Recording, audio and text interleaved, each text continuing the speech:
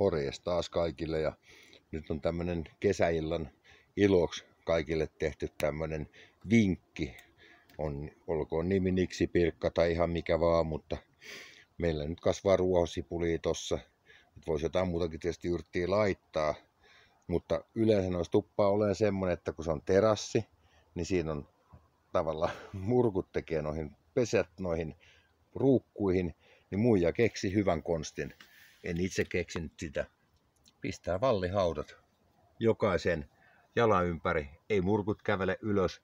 Ja tota, toi toi, en yhtään murkkua vielä tänä päivänä tiedä, mikä osaisi uida. Niin tota, siinä on hyvä vinkki kaikille, ketä haluaa, ettei ole semmoista populaatiotua juuressa.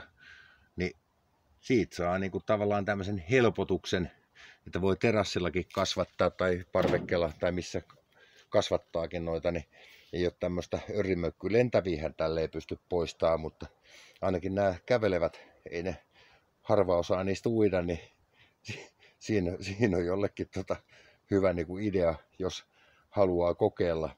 Ja tyyli on vapaa ja näitä on, nämä on tämmöisiä, niitä voi sitten tästä syödä sitä mukaan, kun tulee, että vaikka leivän päälle silppuus tota ruohosipuli, niin se on ok. Ja sille jatketaan ja se on taas hyvät kesäillat kaikille ja se on moro.